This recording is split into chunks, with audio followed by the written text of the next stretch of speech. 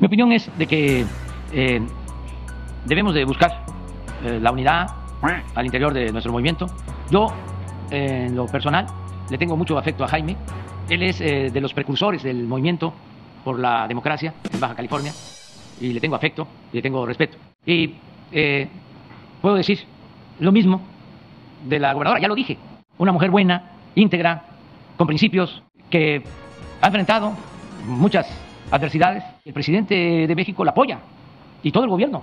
Y por encima del interés personal, por legítimo que sea, siempre debe estar el interés del pueblo. Y sé muy bien de que lo que menos le gusta al pueblo es que haya pleitos entre servidores públicos.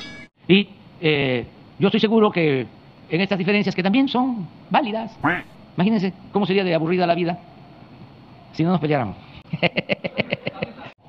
que cada quien se manifieste. No, pero si este, lo puedo hacer, si se da la oportunidad, platicaría con él. Unos momentos después. ¿Un organizador No, no hay pruebas.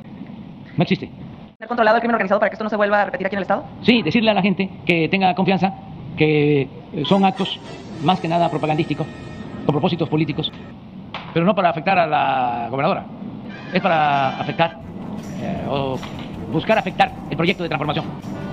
Eh, porque fue en Jalisco, en Guanajuato, en Chihuahua y aquí.